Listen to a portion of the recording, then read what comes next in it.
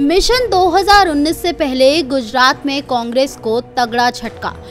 गुजरात में कम क्यों नहीं हो रही है कांग्रेस की मुश्किलें? एक और कांग्रेस जहाँ आगामी लोकसभा चुनाव की तैयारी में जुटी है तो वहीं गुजरात कांग्रेस के कुछ विधायक पार्टी के लिए सिरदर्द बन गए हैं।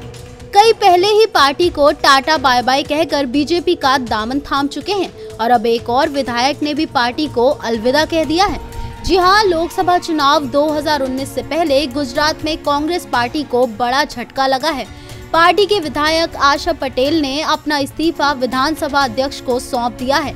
आशा पटेल ऊंझा विधानसभा क्षेत्र से विधायक हैं। इस्तीफे के बाद राज्य में अब कांग्रेस के छिहत्तर विधायक बचे हैं। इस्तीफा देने के बाद आशा पटेल ने राहुल गांधी के नेतृत्व क्षमता पर भी सवाल उठाए। आशा पटेल ने कहा कि कांग्रेस अध्यक्ष राहुल गांधी नेतृत्व करने में पूरी तरीके से विफल रहे हैं।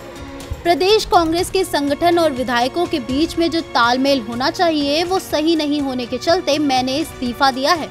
पटेल समुदाय के बीच आशा पटेल का कद काफ़ी बड़ा माना जाता है। हालाँकि आशा पटेल का अगला सियासी कदम क्या होगा, इसके बारे में तो उन्होंने कुछ भी नहीं कहा।